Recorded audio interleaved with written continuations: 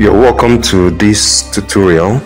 Today we shall be considering this question that is given to us, which is the construction of a circle to touch a line, a given line xy to pass through the point T and S. So from the given question, the required dimension is stated from this picture.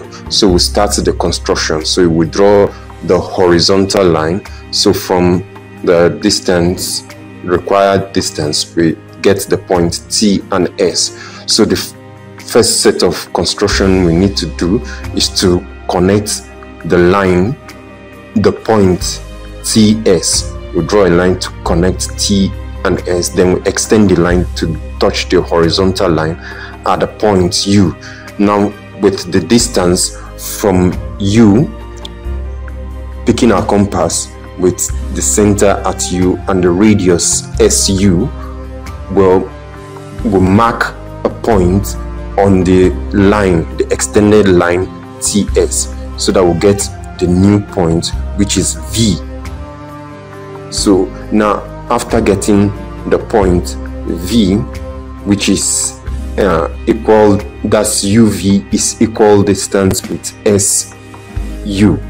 Now we're going to bisect the line TV. So bisect the line TV. So we'll now get the midpoint at W.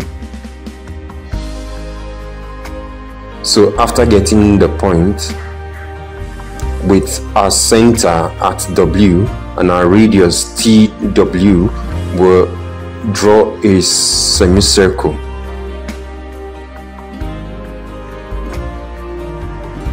So after drawing this semicircle, the next thing is to create a perpendicular line at U to touch the semicircle. It will meet at the point X.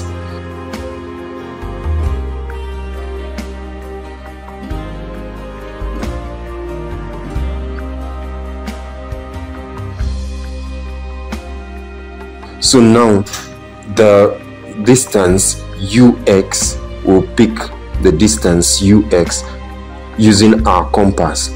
So with the center at u, mark the length on the line so that we'll get the point y on the horizontal line. So with the length ux, the distance, the line ux is equal to the line uy.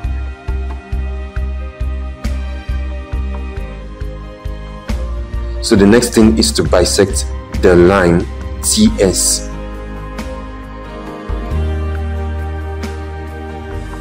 After bisecting it, we extend the line so that it's going to meet the perpendicular line coming from Y.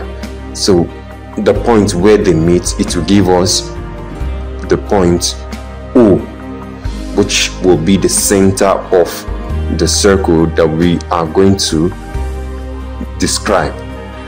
So with the center at O, and we'll check if it's going to touch T, the point T and S, and our horizontal line, we'll draw the given circle.